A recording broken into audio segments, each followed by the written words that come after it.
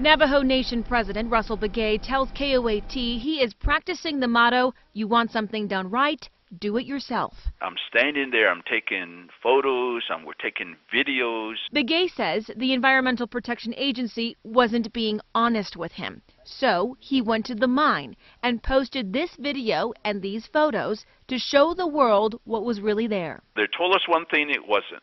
And they and they told us it was it was a couple of metal product, chemical product, and it's and it's more. Officials say the spill is around three million gallons. Clearly, it's much more than that. Begaye says after his disturbing visit, he was informing a key EPA official on what was really going on. He said to me that I was told it was clearing up, and I so immediately grabbed our phone and I we showed him and said, "Look, see for yourself. We just took this minutes ago up there, the base of the mountain, and it's yellow. The Navajo Nation leader now questions, he says, everything the EPA is telling him. I myself, having seen it, having stood there, having seen it with my own eyes, and having stepped in it accidentally, all of that, I, it's, it's indisputable that what we received was inaccurate. In between figuring out the impact of this spill, his people wait.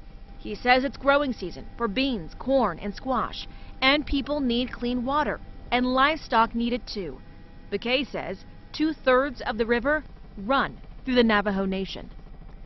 Now, the EPA said initially they were cautious when updating the public about this spill. We tried to ask the EPA today, we tried to ask officials about the Navajo Nation president's allegations of dishonesty, but the EPA officials cut off reporter questions before we could ask them about that. Back to you.